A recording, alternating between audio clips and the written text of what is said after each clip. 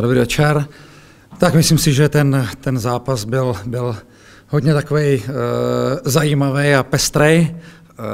nám, nám určitě pomohl brzký, rychlej gól, skvělý vstup do utkání a, a, a pohotovost Honzi Klimenta a rychlý vedení 1-0. Uh, výrazná komplikace v podobě červené karty Adama Dohnálka a kromě toho prvního gólu, jako takový jeden z toho uh, hlavního jako Eh,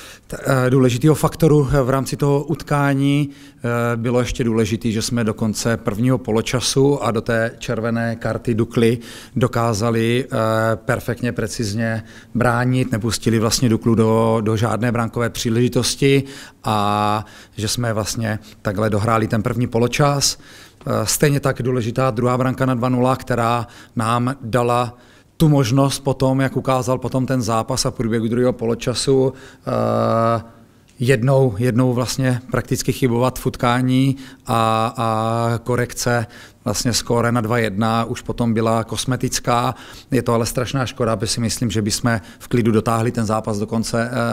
bez nějakého stresu a, a byla to pro nás taková komplikace, ten gol, kdy ten tým eh, znervozněl a vlastně Dukla cítila šanci a uh, museli jsme vlastně do konce zápasu být obezřetní a uskákat tam prostě ty, ty, ty nákopy toho soupeře, ale jinak v rámci toho celkového celkového bránění a ať už zejména v první půlce nebo druhé jsme spokojení, stejně tak to, že jsme dotáhli to utkání do vítězného konce, eh, skvělá produktivita Honzy Klimenta, která, která je vlastně pro nás je teďka takový X-faktor v rámci toho, těch utkání a ten, ten tým eh, si zasloužil vyhrát a, a myslím si, že to vítězství je zasloužený. Tak, nyní otázky. První Jiří Černý. Dobrý. Králem se ukázal jako velmi dobrý. Eh, bál jste se eh, ho nasadit takhle, takhle nečekaně do utkání, eh, s čím, s čím přišel do tréninku, protože dlouho byl v zahraničí a vlastně dlouho počítal s tím, že to dost možná nevíde ten přestup. Tak jak byl nachystaný? Tak my jsme o Honzu dlouho, dlouho stáli, komunikovali jsme v rámci jako týdnů, měsíců, se dá určitě říct, protože absence leveného stopera jsme, jsme vnímali jako náš limit. A je to samozřejmě zkušený hráč, už i přesto, že třeba je to 99, tak už si prostě něco zažil, prošel i zahraničním. A No tak obavy z toho nasadit jsme jako určitě neměli, protože kdyby, kdyby jsme je měli, tak ho tam takhle brzo nedáme ale řešili jsme samozřejmě otázku timingu, kdy ho postavit od začátku. A nakonec jsme se ještě rozhodli jet se sehranou ať už, ať už obranou nebo stoperskou dvojicí dohnálek eh, pokorný a, a ten osud to tak chtěl, že, že to vyplynulo z té situace v, v rámci té červené karty Dohnyho a prostě byl hozený do vody a zvládl to velice dobře. Uh, proč jsme ho ještě jako nenasadili od začátku je, protože tady vlastně nějakých 9-10 dní a kdyby třeba byl, byl uh, nebyl po zranění, ale eh, hrál by, měl, měl by nějakou minutáž v rámci třeba té, té Belgie a přišel by tady rovnou, že by naskočil jenom ze soutěže do soutěže bez nějakého limitu zranění, tak by třeba tady mohl naskočit prakticky okamžitě, ale chtěli jsme tomu dát ještě čas, ať se adaptuje, aklimatizuje s tím týmem, zvykne si na jiný způsob hry, no ale prostě ten osud, jak jsem říkal, tomu nahrál, že, že prostě eh, byl eh, hned v úvodu utkání vlastně mm, střídaný a, a zvládl to velice dobře to vypadalo, že jeho hlavička, protože na něj šel ten roh, byla umyslná pro, pro Klimenta, nebo rozhodně o něm věděl, tak eh, je to třeba součástí i nacvičených, eh, nacvičených akcí. Byl to signál? Věnovali jsme se ofenzivním standardkám teďka, teďka hodně, protože jsme vnímali to, že Eh, naše, naše kvality by mohly eh, znamenat ať už šance nebo větší počet třeba standardních situací, rohových kopů. Eh, ten, ten zápas nakonec ukázal, že jsme se do nich tolik nedostali, protože samozřejmě ten zápas byl ovlivněný tím, že jsme jako prakticky celý poločas museli hrát o jednoho hráče míň, ale měli jsme nachystaný jako varianty a tohle, tohle vyšlo jakoby z té, z, té, z té standardky v rámci potom nějaké kreativity a, a, a chytrého dohrání za 10 dní se asi stejně nedá natrénovat úplně a pochopit všechny signály v situacích. Ne, to si nemyslím. To, to je, my si chystáme na každého soupeře ty signály jinak, to znamená, nemůžeme furt jet jako stejné věci, protože nějaký tým třeba brání zónově a Dukla, Dukla bránila dneska víceméně jako kombinovaně a, a prioritně e, osobně, protože měli jako jenom dva, dva v zóně a zbytek osobně, takže jsme se chystali trošičku jinak třeba než na Plzeň nebo předchozí jakoby soupeře, ale on je herně inteligentní a nasává ty informace velice dobře, nejenom co se týče způsobu hry nebo i těch standardních situací. Jak vyřešit situaci útoku, když zřejmě dlouhodobě nebo minimálně středně době aut eh, Klementika bude chybět, tak eh, už, už máte naplánovaný nutný tahy. Vyřešíme to, vyřešíme to, máme na to 5-6 dní, vyřešíme to určitě. V té souvislosti, jak se ti líbil Fiala, protože nezdálo se mi, že by mu to zrovna sedlo dneska. No, tak ty střídání se nám nepomohly. Dneska ne, ne, nepovedli. Dneska, dneska, ať už Fidži, ať už Dele, ať už Spáča do toho nenaskočili dobře, tak jak prostě ti, ti hráči předchozí, kteří vždycky uh, byli oživením uh, toho, toho zápasu a dokázali udržet úroveň uh, té kvality té hry, anebo, anebo dokonce i pozvednout do té unavené obrany, tak dneska těm klukům to, to nesedlo ten zápas, bylo to vidět, a, ale, ale to tak je. Prostě někdy se to povede, někdy ne a je vidět, že dneska ten uh, rytmus toho zápasu a takový ten herní výkon jejich individuální nebyl, nebyl jako v optimu. Ten útok se doptat, Honza Kliment, to v plánu, aby dostal tu čtvrtou, aby byl doma na volenku? V plánu? Ježíš, tak to já nevím, jako jestli to bylo v plánu, no tak on, on hraje agresivně, že jo, důrazně a uh, prostě chtěl několikrát chytnout nějaký break, no tak uh, spíš to tak vyšlo asi, no. tam z absence Lavinového stopera ještě Ten Leibl byl podepsaný ještě předtím, než byl jmenován, nebo to bylo i tvoje posila? Uh, Leiblik už, už se řešil jako předtím, než, než já jsem vlastně byl jmenovaný trenérem, protože uh, vlastně to, že já budu hlavním trenérem Ačka, bylo až jako na konci jarní sezóny situaci hned na začátku, jak nesl Wright, vlastně, že, že, že byl střídaný a proč jste se rozhodli takhle, protože on jako i v kontextu posledních let má tak, tak silnou pozici, jo, i tou zkušeností, tím drivem, tak ty se vlastně pustil do něčeho odvážnějšího, ukázalo se, že to jde, jestli to nebys mohl nějak. Uh jako určitě to nemohl nést jako nějak jako šťastně nebo prostě bez toho, aby nebyl naštvaný, ale bohužel to,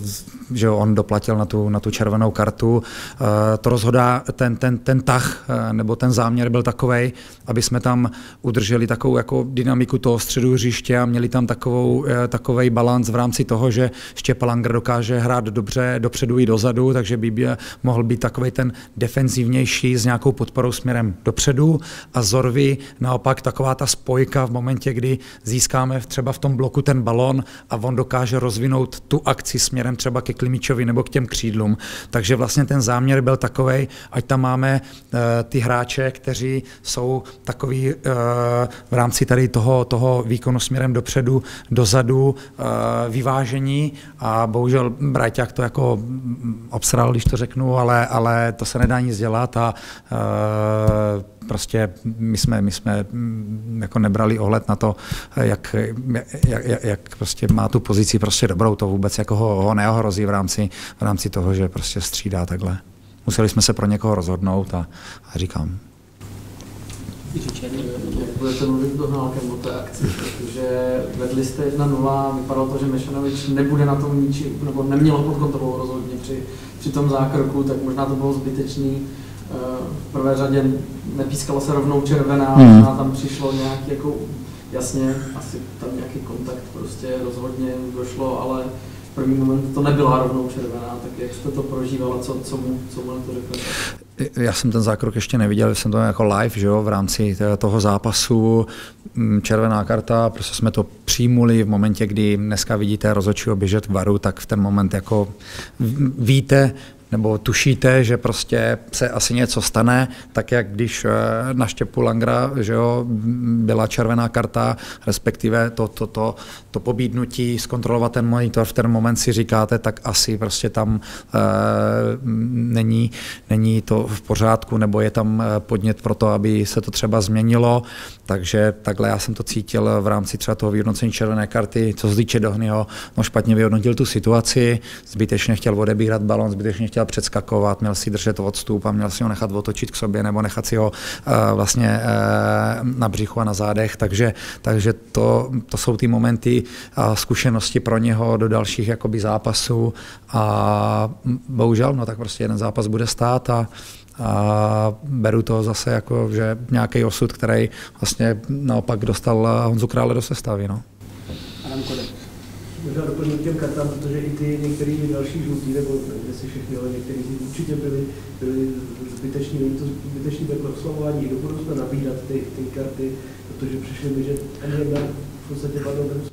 nemusela, tak třeba jenom co si vzpomenu na, na, na, na Mikyho, který dostane zbytečně do skluzu třeba před vápnem a tady tyhle věci, ale, ale je to takový jako z přemíry snahy. Mě spíš vadilo, že jsme v Plzni třeba dostali uh, tři žluté karty za, za zadržení, jo? že to, tohle, tohle mě vadí nějaký, že furt na někoho, uh, jako, furt na někoho se lepíme a chceme mu vyslíkat dres, tak tohle mi vadí, ale furt je lepší to, že je tam přemíra snahy a je z toho žlutá karta, než to, že bychom byli pasivní a, a potom třeba nedostupovali ty protihráče, tak furt ta míra agresivity je pro mě lepší, než kdyby jsme byli takový, že bychom byli bezkrevní a že bychom uh, byli fakt jako pasivní v rámci té defenzivy. Ta, ta jedna inkasovaná branka, nechtěl by to už nějaký zápas konečně, že jsou tu tři body, ale i, i ta branka byla taková po špatný domluvě po tom autu a jedna, jeden, dva eh, pohyby, jeden náběh a, a Jo, jako myslím si, že Dukla si dneska nevytvořila pořádně brankovou příležitost my, my jsme jim ten gol darovali. Jednoznačně jsme chtěli dneska odehrát zápas s čistým kontem s nulou, protože ten vám vždycky dává, ta, ta nula vám vždycky dává možnost uspět, ať už jedním bodem nebo třema. Vnímáme zase ale to, že Vlastně to má dvě roviny. Eh, v posledních zápasech jsme dostávali dvě branky pravidelně, že jo? ale na druhou stranu musíme si říct, kde jsme je dostali. Na Slávi, v Plzni, proti Mladé Boleslavi, proti Baníku. To jsou jako top týmy, které mají obrovskou kvalitu směrem dopředu, ale jednoznačně chceme, aby se náš průměr obdržených branek na zápas se třeba blížil jako jedné. Jo? A, a chceme, chceme samozřejmě mít čistý konta, ale ti soupeři jsou prostě tak kvalitní, že, že někdy eh, to provedou tak dobře, že prostě skórujou, ale samozřejmě to, co ovlivňuje ty obdržené branky, jsou individuální chyby, ať už v Plzni, nebo třeba teďka. Kolega říkal nedorozumění, já vím chybu viděl jsem ji i v Plzni, proč on a nehadaš? Jo, tak eh, v rámci toho kontextu uh,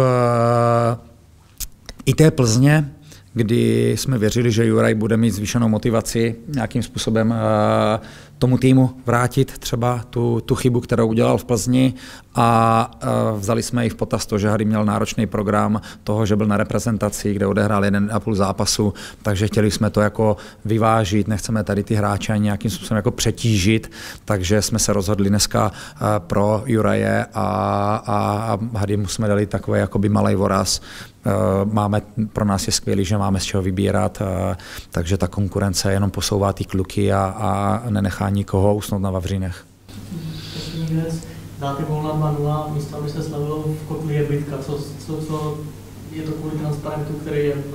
stržený sekuritkou, jaký má pocit trenér?